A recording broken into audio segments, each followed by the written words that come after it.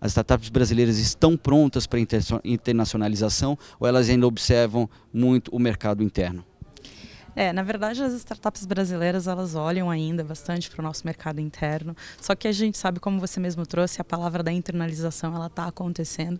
E, em geral, estão olhando primeiro para a América Latina, para depois como Estados Unidos ou Europa. Acho muito interessante a Start no Brasil, porque em geral é mais fácil os o, investidores ou vindo dos Estados Unidos para cada América do, do Norte do que da Europa. E aí o Start está trazendo isso. Então isso é muito legal em relação, já que você falou de investidores, vamos ampliar um pouquinho mais esse tema.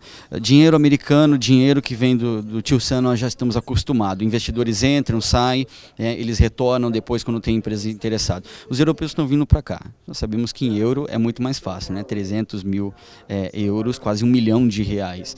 É, em relação a esse mercado específico de investidores, como é que você vê que os de que forma você vê os, que os empreendedores podem é, é, fazer uma conexão, um network qualificado com esse tipo de investidor? Investidor?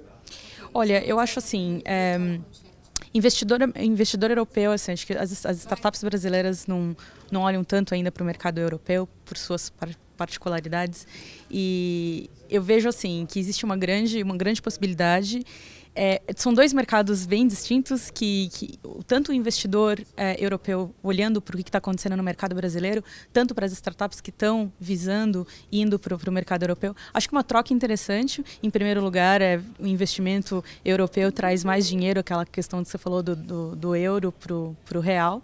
Mas enfim, eu acho que é melhor aí onde tem o capital intelectual para fazer essa troca, entendeu?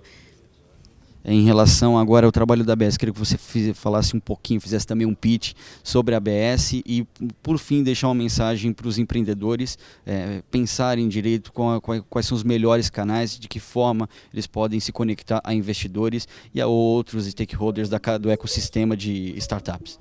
O trabalho da ABS esse ano, a gente se, se firmou como, como uma operação, como uma associação que está full time. Antes era um grupo de, de empreendedores entusiastas.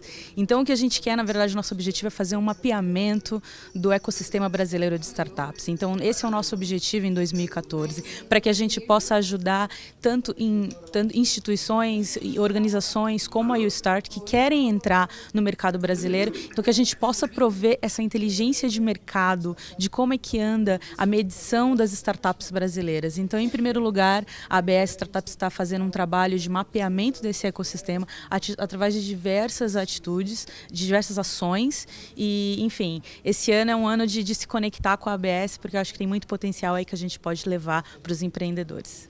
Por fim, uma mensagem para todo, todos os empreendedores, os, principalmente startupeiros, né, que a gente está acostumado. Ó, a mensagem para os startupeiros aqui, enfim, muito bom trabalhar, fazer o seu negócio, mas também é bom participar de eventos como esse, receber feedbacks de pessoas que estão ali fazendo seus negócios. É muito bom ter o feedback de, um, de uma pessoa, de um, de um investidor é, internacional, né? O que, que isso traz para você. Então, participem também de eventos como esse, saiam, sai, sai da fora, faz um equilíbrio aí entre desenvolver o seu negócio e também estar tá presente nos eventos.